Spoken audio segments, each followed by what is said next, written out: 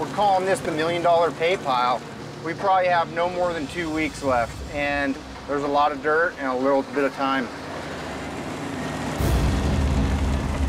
With temperatures hovering at the freezing point, a snow squall hits the McKinnon Creek claim. Freaking cold.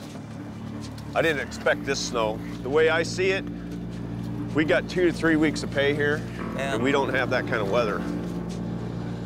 Look at this. Holy, yeah. As it gets colder at night, this will continue to get worse. When it freezes here, it freezes. All that gold's gonna be frozen this pile right here this winter.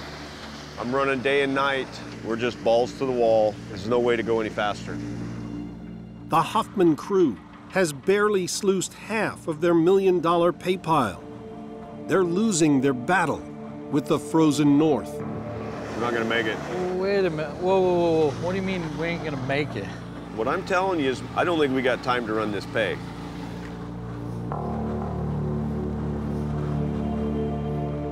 Normally, I would say, you know what, we got to jump on next year. But if we leave this here, we're never gonna get it. I don't want to leave gold here if we're heading to Oregon. Do all that work for somebody else to sluice your gold. We got to get this pay. We cannot leave this pay here. Don't stop.